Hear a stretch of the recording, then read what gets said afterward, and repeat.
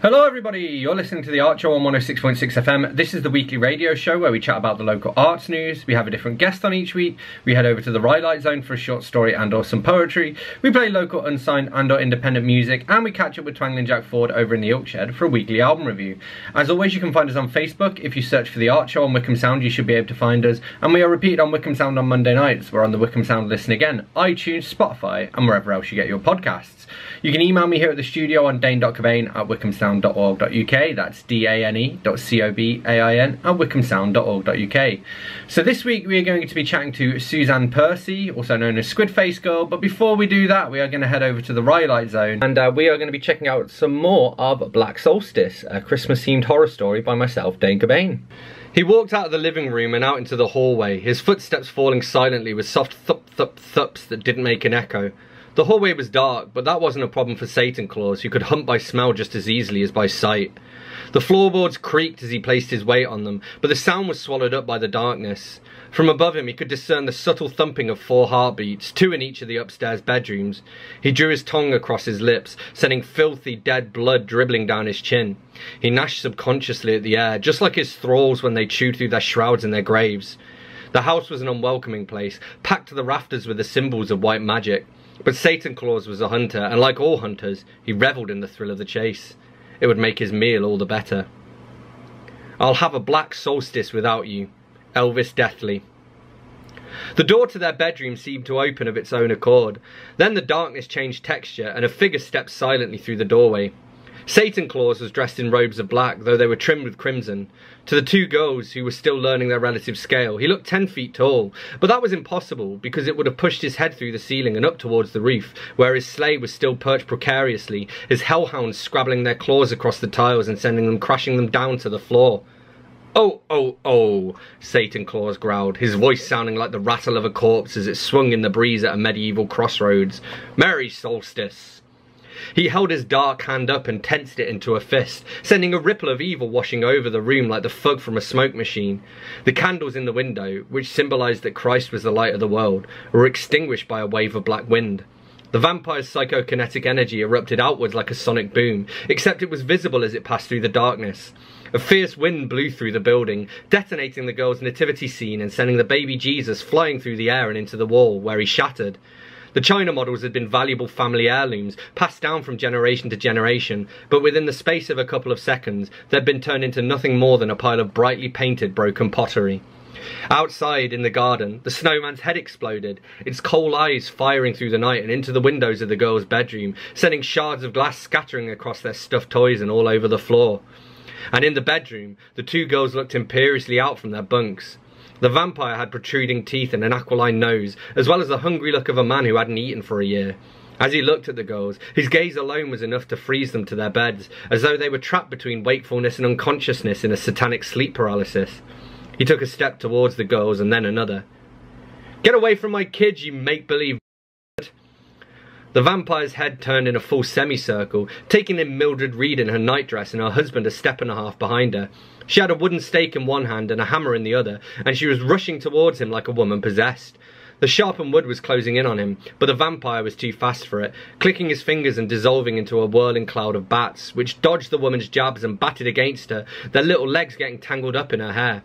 John swatted ineffectively at them, while Mildred continued to swing the stake through the air at a target that no longer existed. In their beds, the girls came back to life again, their innocent bodies no longer pinned in place by the vampire's evil eye. They moved towards their stockings. There was a growl from the darkness in the hallway, and then Tupac was in the room too. A black cat battling black bats, but the bats were fighting back and the cat was howling. Its unnatural yowl seemed to break the spell, and the room flooded with volume as everyone tried to move at once. Satan Claus reformed, the bats disappearing beneath his robes, while John and Mildred made a rush for him. The girls were at the feet of their beds, rummaging through their stockings for the gifts within. Jude was the quickest, and she tore the wrapping from what looked like a bottle of perfume before raising it in both arms. Satan Claus took the hit of holy water straight in the face. Well, tonight, thank God it's them instead of you. Band-aids over puncture holes. Oh, oh, oh, Satan Claus growled. Is that the best you can do? Time stood still around him. Jude was still holding the bottle in front of her face, visible mostly as a pair of bright green eyes in the darkness. Jessie was in the bunk below, her hands still buried deep within her stocking. Satan Claus was in the middle of the room with his back to the door, while Tupac had bolted for the floor beneath the bed and was watching proceedings unfold with the disinterested wariness of the common house cat. John and Mildred were to either side of the vampire, their hammers raised in the air as they fumbled with their stakes. And Lilith was standing in the doorway. She was like Satan Claus, but with style, a biblical beauty who'd added flavour over time like a fine wine. Her husband was unkempt for a vampire, with flowing white hair, a bushy beard and a big belly. Lilith looked like she took care of herself, like she worked out every night lifting the lids off crypts or doing gothic lunges. She was dressed mostly in velvet with a few hints of leather, and her lips and fingernails were painted the deep scarlet of an aged bottle of O negative. Enough of this, husband, Lilith said, clapping her hands together. When her palms touched, the two adults were thrown against opposite walls of the bedroom, where they smacked against the walls and then slid to the floor in a broken symmetry. Let's feed. Like hell, John growled, pushing himself up on one knee before slumping back down again. Blood was flowing freely from somewhere on his scalp, and his wife was unconscious but breathing. My good man, Satan Claus said, I have no desire to hurt you or your wife. I remember you as a child. You used to write me letters every solstice, begging me not to take you or your brothers. His mouth fell open. All we want is to feed, Lilith said, her voice floating eerily on the supernatural wind that was still blowing through the house, setting ornaments tumbling to the floor and rotating crucifixes where they hung above the doorways. But they're my daughters. So, Satan Claus replied, leering evilly at him. You planned a solstice dinner tomorrow, did you not? John Reed said nothing. Yes, husband, Lilith added. They have a turkey defrosting in the refrigerator. But that's different, John protested. Is it? Satan Claus growled. It died so you could live. How is this any different? It just... Mr. Reed, I grow tired of talking to you, Satan Claus said. Don't make me kill you. After all, alive you can make new children. Dead, you're no good to anyone. You I'll... It's okay, Daddy, Jude said, her voice sounding eerily calm amidst the chaos. I know what we have to do. Yes, Jessie agreed. It's the only way. Girls, I don't... Yes, Lilith said. It's as it should be. She clicked her fingers and the girl's leather-bound Bible flew off their bookcase and towards their father's head. It knocked him clean out, and he snoozed on in silence like his wife while the vampires moved in on the two girls. They offered no resistance. That was the latest instalment of Black Solstice by myself, Dane Cobain, for this week's entry into the Rhyolite Zone. You can check out previous episodes of the show to catch more of that story. You're listening to The Arts Show on 106.6 FM Wycombe Sound. I'm your host, Dane Cobain, and this is Nick Coleman with Python.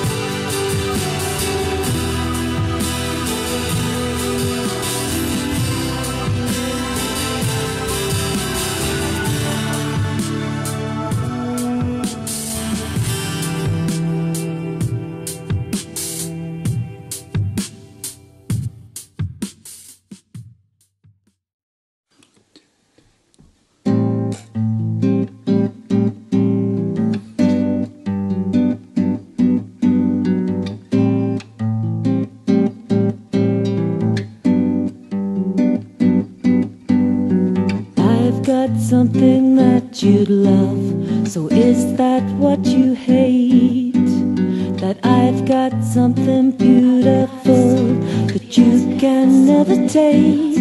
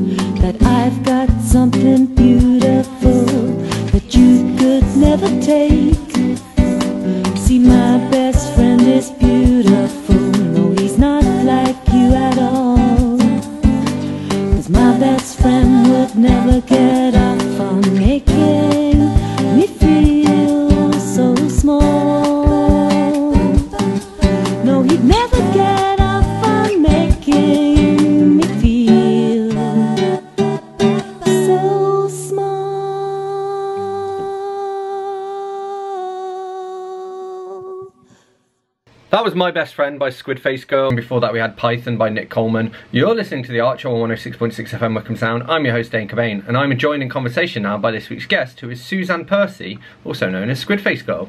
So the first question may or may not be relevant to you, but this is my traditional opening question. I ask everybody, okay, uh, and it's it's what was the last book that you read, and what did you think of it?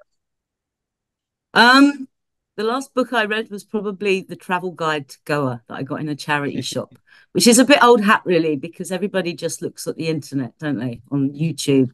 Um, so um, that was actually the last book I looked at. To say I read it from cover to cover would be a lie, but I did um, yeah hunt down Anjuna, which is the area that I'm going to in India. Yeah, that's that's cool. I mean, I I do the same when I travel. I like to have a travel book as well, even though again, I'll look on TripAdvisor, but I tend to flick through the travel book as well. Um, but you say you got it from a charity shop as well, so that was quite a lucky find, right? That you found specifically the area that you're going to.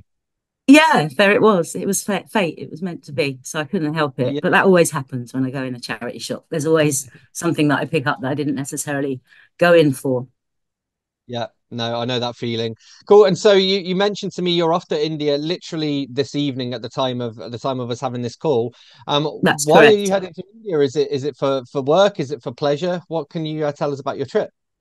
It's totally for pleasure. Um, I went two weeks earlier last year at the end of um, November for the first time. So it's my second uh, journey to India.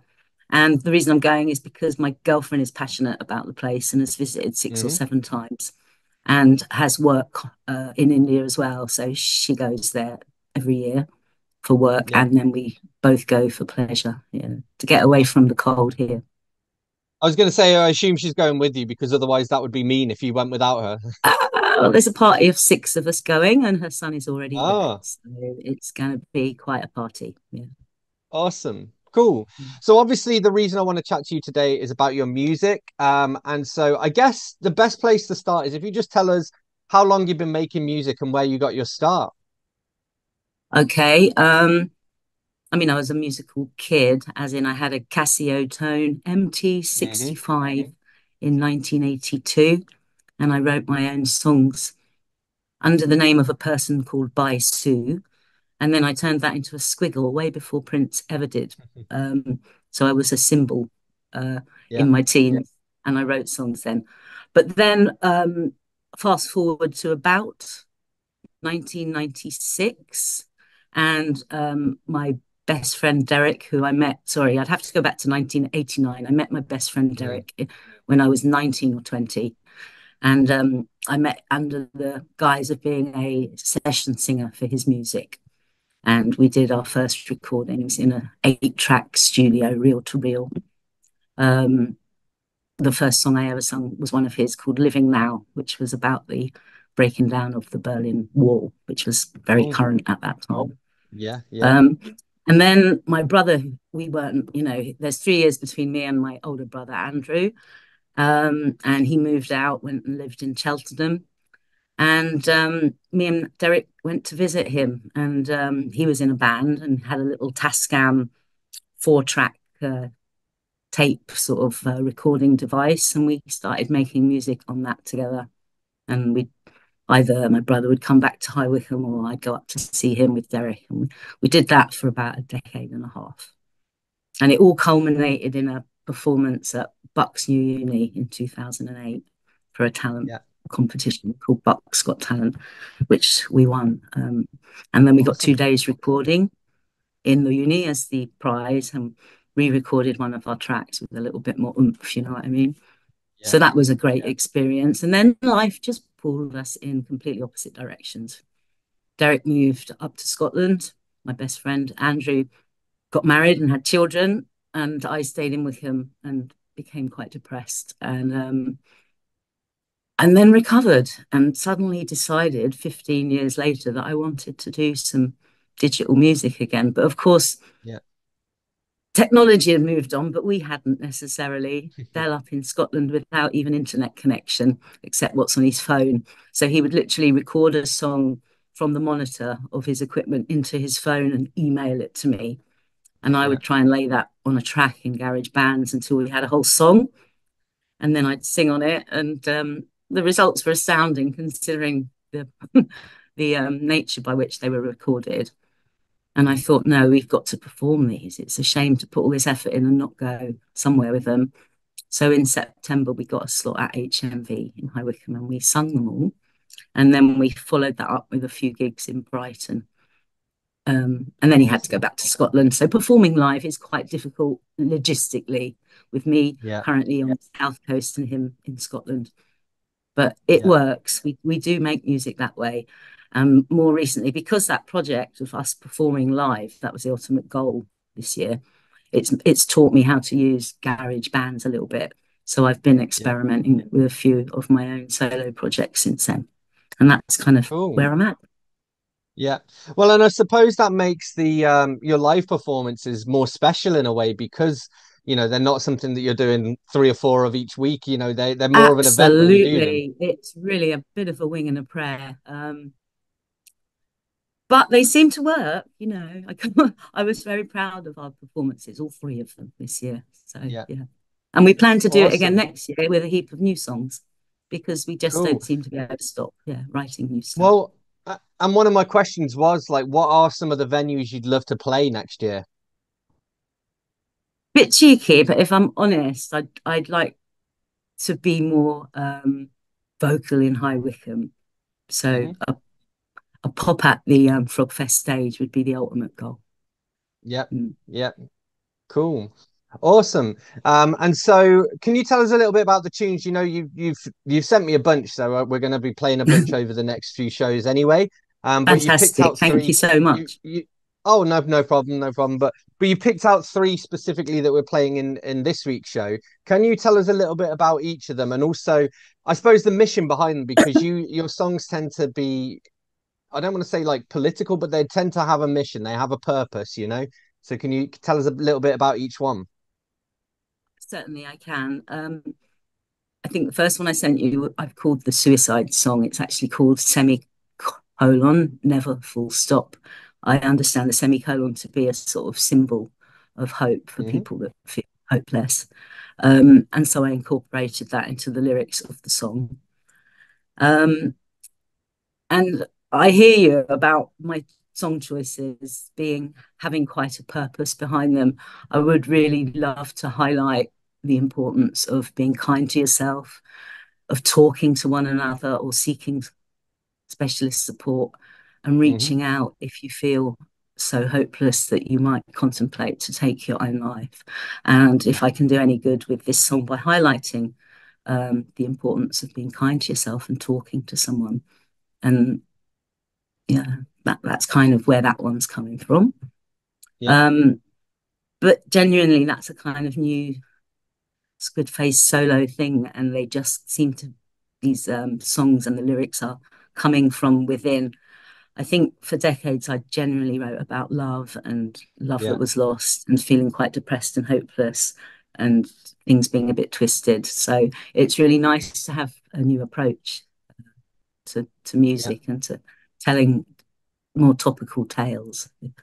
Um, so that's the first song, semicolon, never full stop. Yeah. And what about what about the other two? Okay, so I also chose a song that was uh, 10 years old, but with a backlog of over 30 years that nobody's heard. I figured I could kind of go anywhere. And I thought it was important to highlight my songwriting uh, uh, would, wouldn't exist without uh, the people incorporated in the second song, which is called My Best Friend. And it is dedicated to my best friend, Derek, who happens mm-hmm. to be the giant obstacle and the musical brains behind most of the electronic music that was current this year and everything else for the past 20 years. But this one specifically was actually uh, played and the music written by my brother, Andrew, who has also been an absolute um, amazing part of my musical journey. Without these two guys, yeah. I wouldn't be here being musical and now with the courage to go it alone.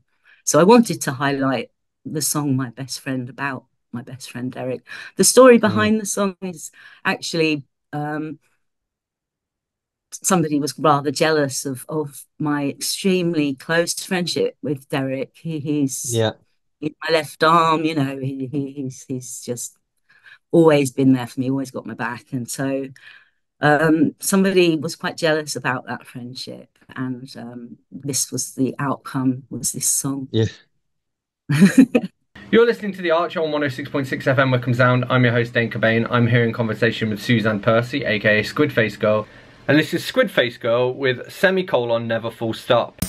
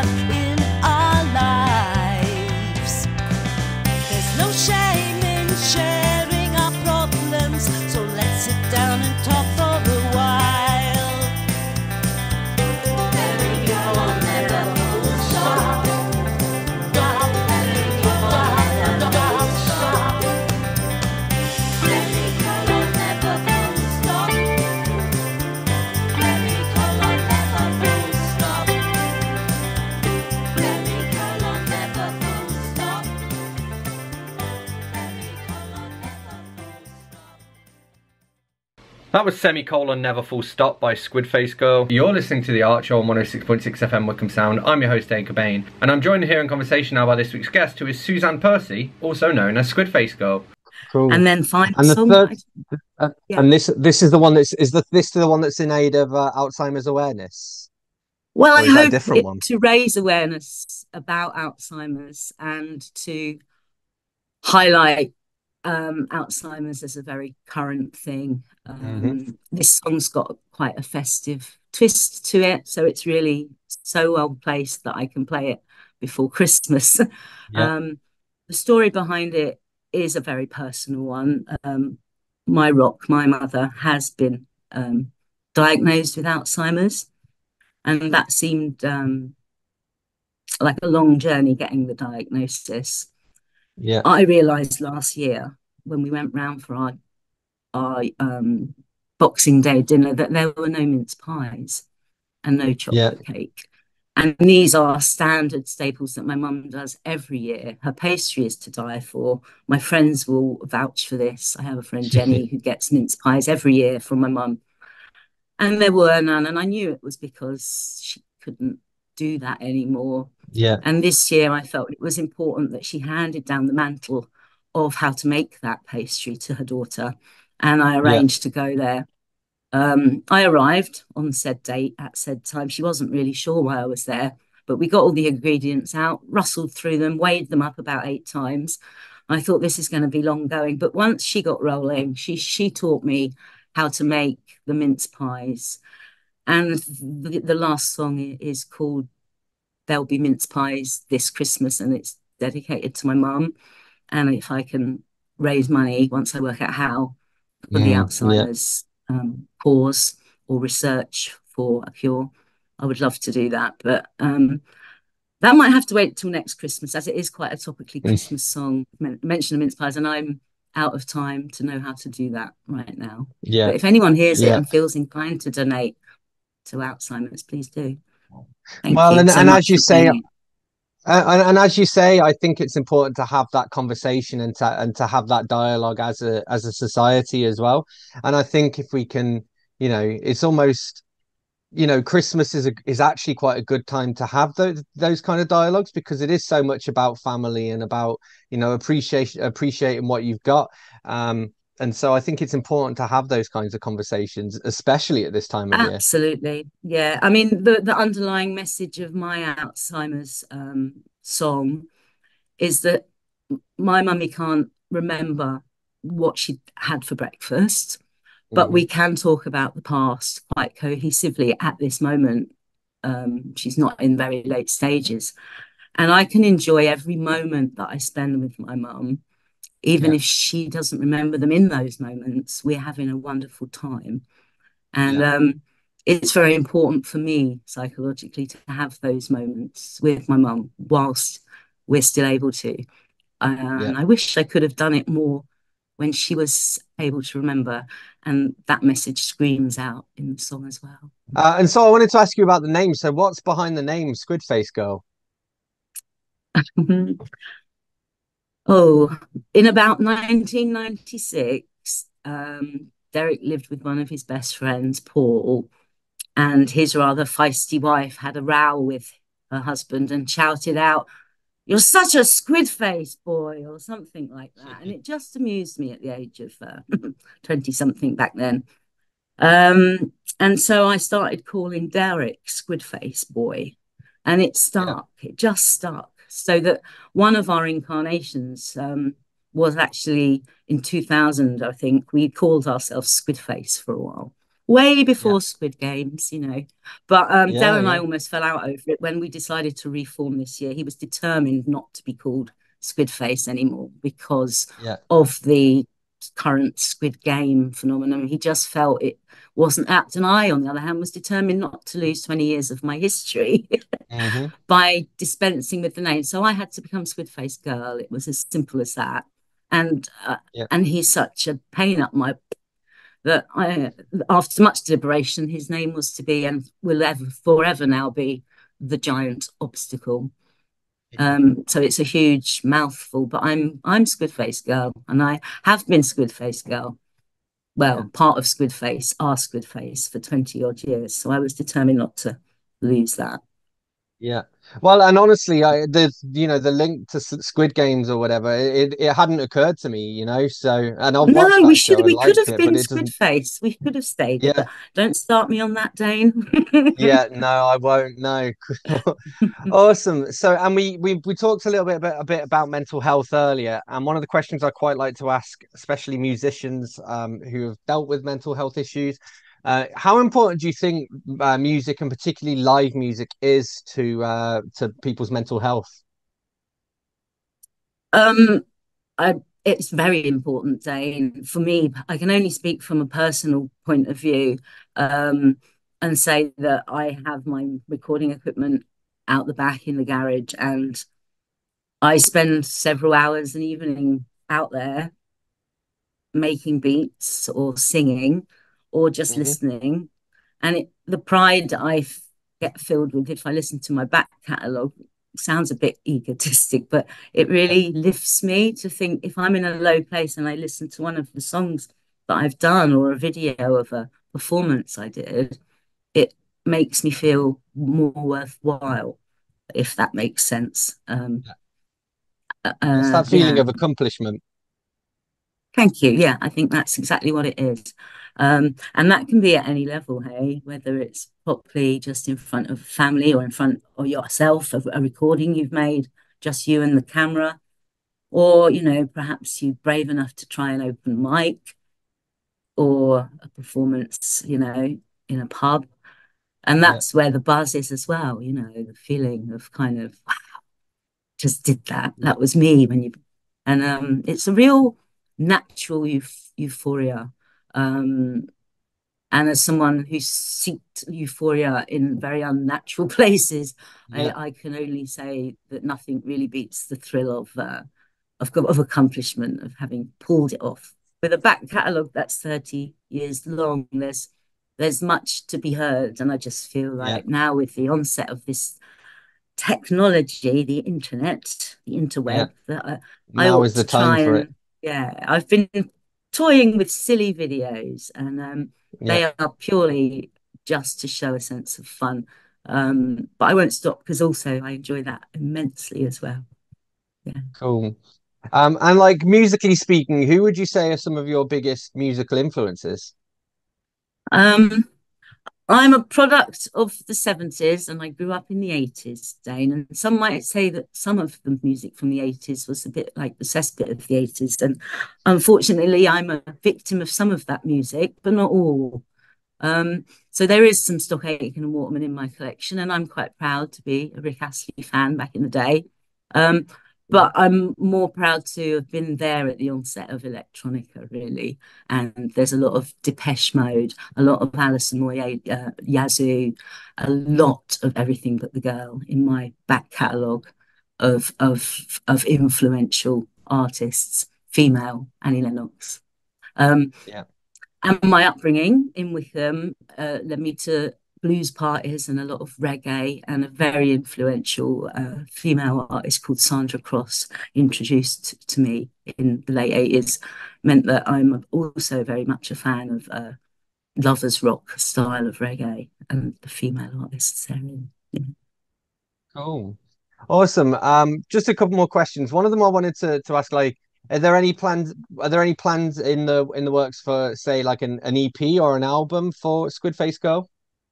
Oh, there certainly is, but um, being on the other side of 50, the technology and the need to involve other people it would be paramount for that to happen. So um, I'd love to work out how to do that. Um, but that's a project definitely for next year. I need to set myself targets, and I think you've just helped me work out what it is. Would be to Yeah. possibly get something like that off the ground by the summer would be wonderful, and then be able to perform it and promote it. I mean, I see so much wonderful stuff on the local um, pages about how musicians do that. Um, and I've made a few nice connections this year, so I just need to work out how you do it and and do it you know and that's one of my messages really is you're not never too old to have another go if for whatever reason you know something knocked you down tried to get back up uh, um Yeah. I'm here currently having another go um Yeah. after like a you know 15 year sabbatical really Yeah, and and even not even have another go, you know, it's never too late to try and pick up a new That's skill, it. you know. If Never somebody's never made music before, it's, you know, why why not? I would recommend it to anyone really yeah and if you're good with technology embrace it Yeah. Awesome, cool. And just to end on, so uh, and we just kind of covered this a little bit, but but what's next for you, and where can people follow you to stay up to date and to find out more? Oh, thanks. Um, I hadn't anticipated plugging myself. Um, well, I do have a YouTube um, channel, and it's Squid Mhm. Face Girl, all in lowercase with no space. Squid Face Girl. Um, and you should be able to find it. Squid Face Girl and the Giant Obstacle would be another alias. Um, Yeah. I also have a Facebook page, which is called Squidface Girl Music, and a SoundCloud page, Yeah. which is Squidface Girl, and an Instagram page, which is also Squidface Girl. So basically, Squidface Girl in lowercase with no space should should you should find Yeah. me uh, if you Google that somehow. Yeah. Big thank you to Suzanne Percy for joining me. You're listening to The Arts Show on 106.6 FM Wycombe Sound. I'm your host, Dane Cobain. And this is the Mince Pie song by Squidface Girl.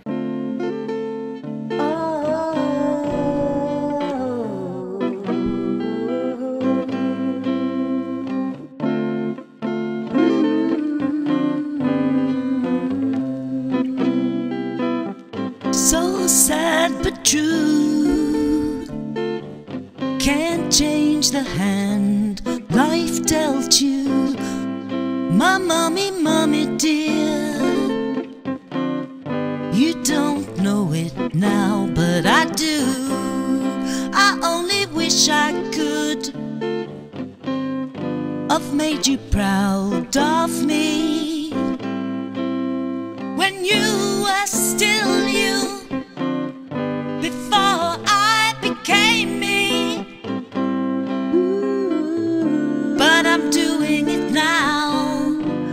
I know you'd want me to.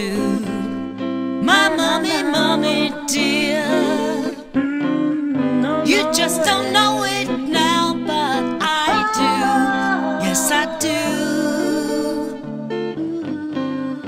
And I'll always, always love you, my mommy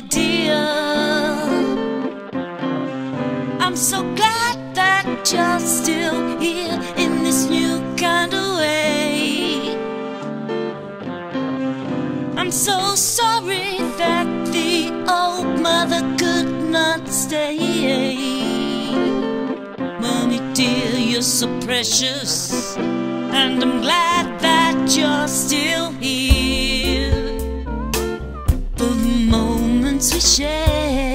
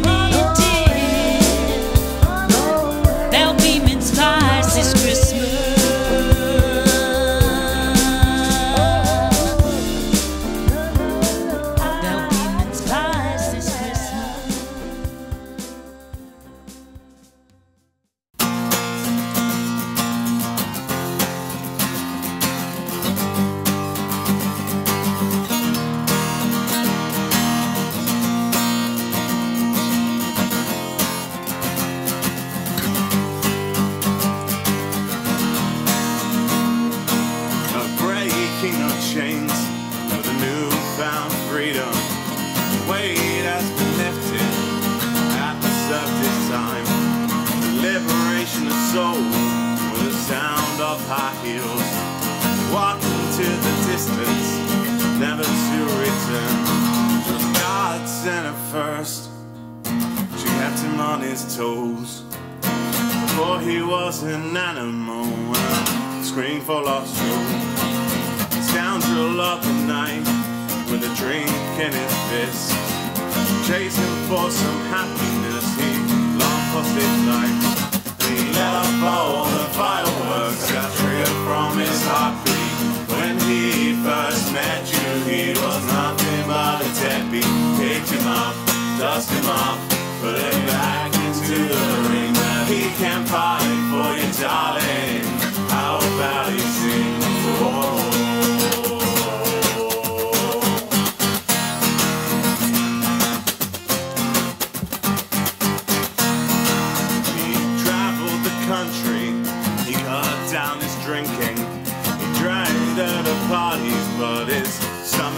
Sinking. These awful thoughts crept into his mind. Someday he won't be able to cope, you'll leave him behind. And he let off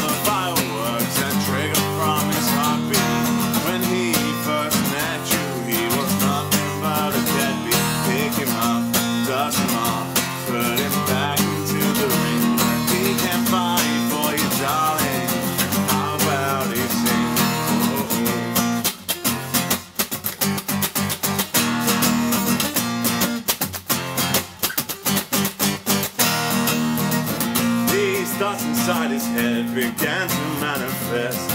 He was isolated and alone. He just wanted his friends. The arguments were torture. He carries the scars on his brow. The time spent away from her, she only put him down. And he let off all the fireworks that triggered from his heartbeat. When he first met you, he was nothing but a deadbeat. Picked him up, dust him off, put him right back in the ring. He can't fight for you, darling. How about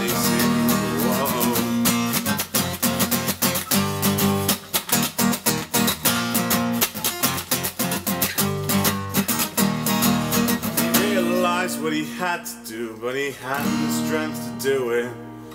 In the heat of battle, he admitted he was ruined. And he should leave and packed his bags. And after another screaming batch, leaving a note on the table saying, I ain't coming back. Breaking of chains with the newfound freedom. A weight has been lifted. Atlas served his time. The liberation of soul with the sound of high heels. Walking to the distance, never to return.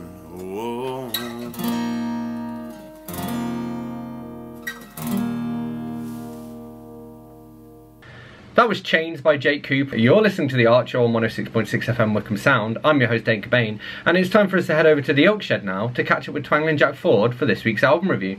The Shadows 20 Golden Greats, an LP I bought from the Florence Nightingale charity shop in Aylesbury for a pound. I just about remember pop music before the Beatles. Us little kiddies had the TV to ourselves once the test card had finished just before five. We had a nice lady called Muriel Young who spoke to glove puppets called Ollie Beak and Fred Barker. And sometimes Bert Weedon would show us his guitar and what he could do with it.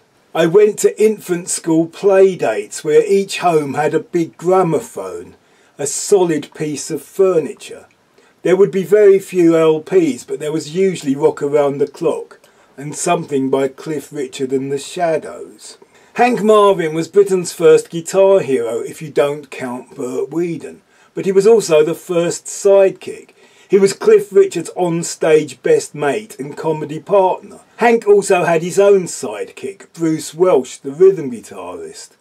Welch's strum patterns are essential to the Shadows effect. I once had to do rhythm on Apache and it was not as easy as Bruce Welch made it look. Hank Marvin is still an icon, rhyming slang for excessively hungry and recognisable as much for his glasses as his vibrato. The Shadows were characters in the Cliff Richard films. Hank and Bruce acted alongside Melvin Hayes and Una Stubbs, all going on a summer holiday. This was all massive in the early 60s. But the Shadows lived a double life. They were pop stars in their own right. They wore the sharp suits expected of light entertainers, and they had their own choreographed moves. Those great wooden gramophones of my infant years would often have a stack of singles, and there would always be some shadows. Great instrumentals with a solid bass, drums, and rhythm guitar, topped off with Hank's precise fluid melodic lead, all played with his distinctive tone and twang. These ranged from the almost primal tribal Apache to the one I best remember from the time, Wonderful Land, a gorgeous tune that I still find uplifting. It has a string arrangement that makes it sound like the theme to an epic movie. And it has a staccato section with a perfect echo effect, bringing it back down to rock and roll earth. Later in the 60s, I would collect jumble for the Scouts, and there were always shadow singles which we played on the big wooden gramophone in the Scout hut. I remember Dance On and Kon-Tiki, instrumentals that still sounded great when the other early 60s records sounded dated, probably more dated in the late 60s than they do now. And there was the rise and fall of Flingel Bunt, basically a 12 bar jam but with a catchy hook, and it almost seemed current in the late 60s blues boom. Hank and Bruce went on to sing real songs, but possibly inspired by the Shadows. Other guitarists went on to make some really good instrumentals, like Sabre Dance by Love Sculpture, Albatross by Fleetwood Mac, and Beck's Bolero by Jeff Beck and Jimmy Page. However, by the early 70s I had discovered Santana, the hippie Latin Hank Marvin. 20 Golden Greats, The Shadows. Big thank you to Twangling Jack Ford for joining me. You're listening to The Arts Show on 106.6 FM Wycombe Sound. I'm your host, Dane Cobain. As always, you can listen to us again. We are repeat on Wycombe Sound on Monday nights. We're on the Wycombe Sound Listen Again, iTunes, Spotify, and wherever else you get your podcasts. Please do leave us a short review on your podcast platform of choice. It all helps. You can also get in touch with me here at the studio on dane.cobain at wycombesound.org.uk. That's D-A-N-E dot C-O-B-A-I-N at wycombesound.org.uk. And you can find us on Facebook if you search for The Arts Show on Wycombe Sound. You should be able to find us. So I'm going to leave you with one last tune for this week, uh, which is a very apt one. This is Chiltern Groove with Tune In. I'll catch you next week. I wanna tune in to your station.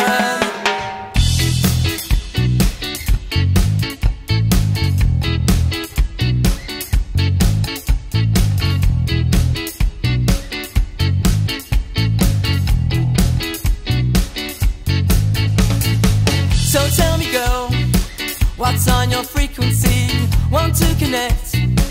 If you just let me, I wanna know what gives you that feeling. Maybe one day you can dance in my kitchen. Tune in, I wanna tune